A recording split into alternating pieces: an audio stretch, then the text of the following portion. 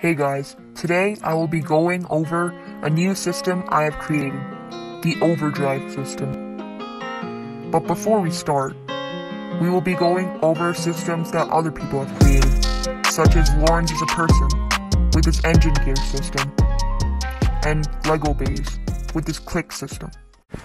But now, we will be going over my system, the overdrive system.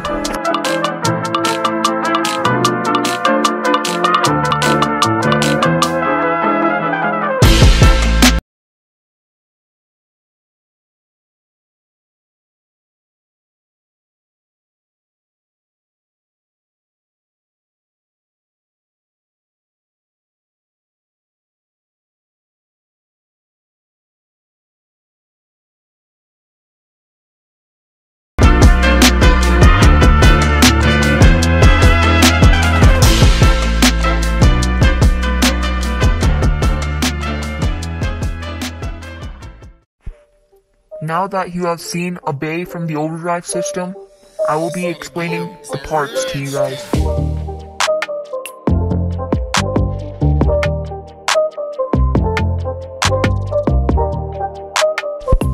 Okay, so first up we have the overdrive chip. This chip was originally meant to be in a flip system, but I couldn't figure it out, so yeah. This is the main part which keeps the overdrive system working.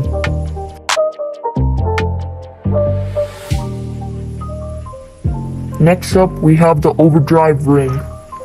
This is like Diego LBB's reverse system, but with no slopes, and it's it's similar, but not that similar.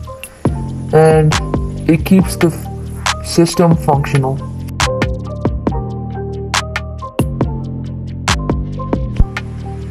Next up, we have the driver. This driver was specifically made for a gimmick. The gimmick is that it gets awakened every single battle. If you don't get what I mean, I'm trying to say that the, driver gets pushed in every time it battles, and then at one point it awakens.